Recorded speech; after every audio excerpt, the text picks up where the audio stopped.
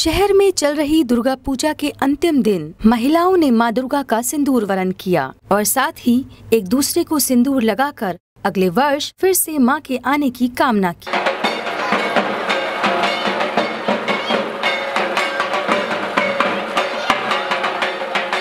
उसके बाद वाहनों के साथ विशाल विसर्जन शोभा यात्रा मनोरंजन सदन से शुरू होकर जंक्शन, कचहरी, चौकी चौराहा अयुखा चौराहा होते हुए रामगंगा के लिए रवाना हुई।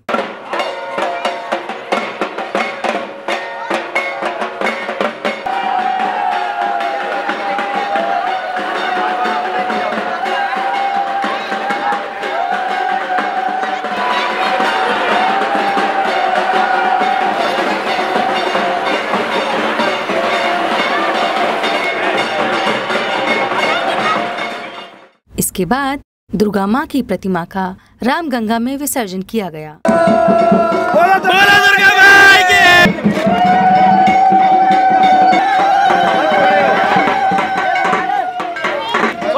की टीवी ब्यूरो रिपोर्ट बरेली। खबर बरेली की। बरेली से बीटीवी बरेली की आवाज़।